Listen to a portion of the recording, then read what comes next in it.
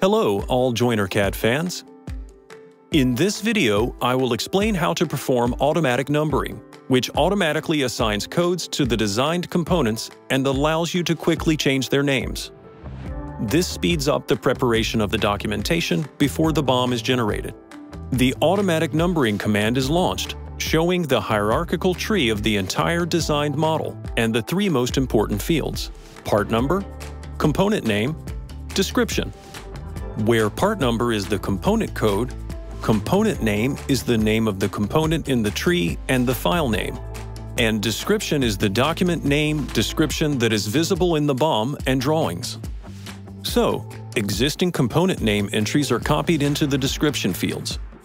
Corrections to the names can be made here if necessary.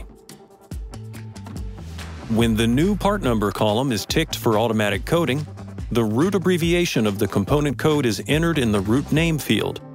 Then I select that the components in the hierarchy would be separated by a dot. The automatic numbering process is now carried out by pressing the Apply button. Finally, the Refresh button is used to save and implement the changes.